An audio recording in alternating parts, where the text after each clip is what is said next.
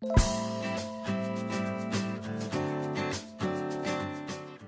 หมากระเป๋าแบรนด์หรูจนเป็น VVIP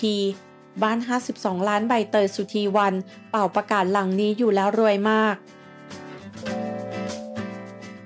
ชาวเน็ตจำนวนมากมีการขุดคลิป รวมถึงบทสัมภาษณ์เก่าๆ ที่เกี่ยวข้องกับการเงินของใบเตยและดีเจแมนออกมาเพียบ รวมถึงยังตั้งข้อสงสัยว่า ไปทำอะไรมา ทำไมถึงดูร่ำรวยแบบก้าวกระโดด ในขณะที่ช่วงโควิด -19 คนในวงการบันเทิงไม่ค่อยมีงานกัน แต่สามารถใช้เงินช้อปปิ้ง ซื้อกระเป๋าแบรนด์เนมในมูลค่าที่สูงกว่า 15 ล้าน แถมยังชอบสะสมกระเป๋าหายาก แบ็คพิงสะพายอันไหนซื้อหมดชอบรองเท้าเครื่องประดับ จนกลายเป็น VVIP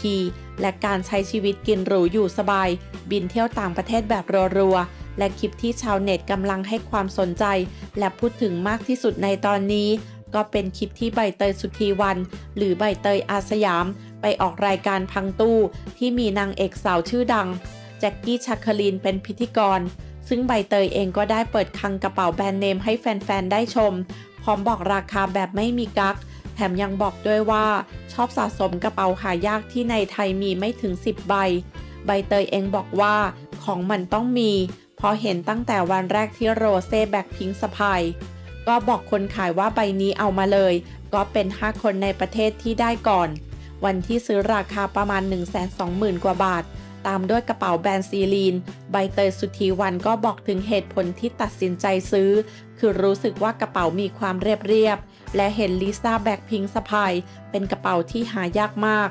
คนตามหากันทั้งโลก มี 3 ใบในไทย ราคาประมาณ 130,000 บาท มันเป็นคุณค่าทางใจ เป็นการเอาชนะใจตัวเอง เป็นการเอาชนะคนขาย จะให้ซื้อเท่าไหร่ก็ได้ ขอให้ได้ใบนี้ ส่วนเรื่องการเป็น VVIP ว่าต้องทำอย่างไรบ้างนั้น ใบเตยสุธีวันก็บอกว่าแต่ละแบรนด์จะไม่เหมือนกันเลย แบรนด์ที่ต้องทำยอดมากที่สุดก็คือ Chanel นึกไปนึกมาโอ้โห พอต้องทำยอด 15 ล้านบาทต่อปี ถึงจะได้รับของขวัญในวันเทศกาลต่างๆ